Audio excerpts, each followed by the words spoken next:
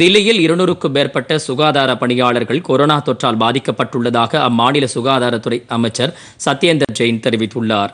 தில்லியில் செய்தியாளரிடம் பேசிய அவர் கொரோனா தடுப்பு பணியில் ஈடுபட்டு வரும் மருத்துவ பணியாளர்கள் இருநூறு பேருக்கு கொரோனா தொற்று ஏற்பட்டுள்ளது கண்டுபிடிக்கப்பட்டிருப்பதாகவும் இதன் மூலம் தில்லியில் கொரோனா தொற்றால் பாதிக்கப்பட்டவர்களின் எண்ணிக்கை மூவாயிரத்தி நூற்று எட்டாக அதிகரித்திருப்பதாகவும் அவர் கூறினார்.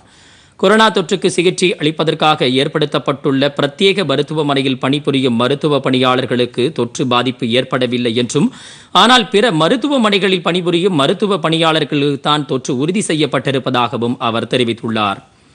தில்லியில் உள்ள பாபு ஜெகஜீவன் ராம் நினைவு மருத்துவமனையில் அறுபது பேருக்கு தொற்று உறுதி செய்யப்பட்டிருப்பதாகவும் இவர்களில் பெரும்பாலானோர் தில்லியில் சிவப்பு மண்டல பகுதியாக அறிவிக்கப்பட்டுள்ள ஜஹாங்கீர்பூர் என்ற இடத்தில் பணிக்கு வருபவர்கள் என்றும் அவர் கூறினார்.